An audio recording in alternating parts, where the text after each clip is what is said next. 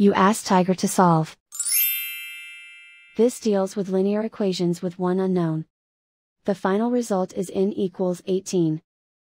Let's solve it step by step. Simplify the expression. Expand the parentheses.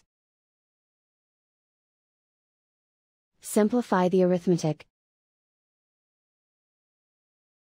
Swap sides.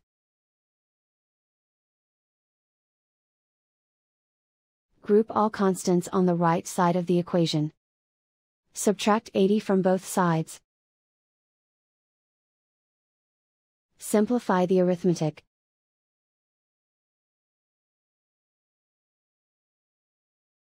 Isolate the u.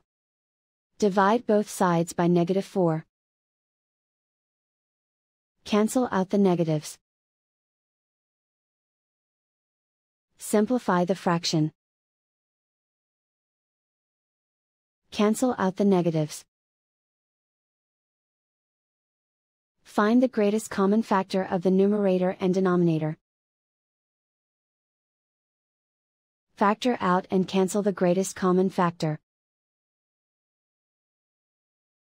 And so the final result is n equals 18.